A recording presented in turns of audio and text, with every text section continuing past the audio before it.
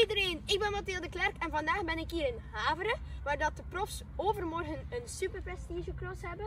Ik heb de gelegenheid om hier een toertje te kunnen rijden. Ik ga jullie meepakken met de GoPro. Het ligt super vettig, dus eh, het zal glijden worden.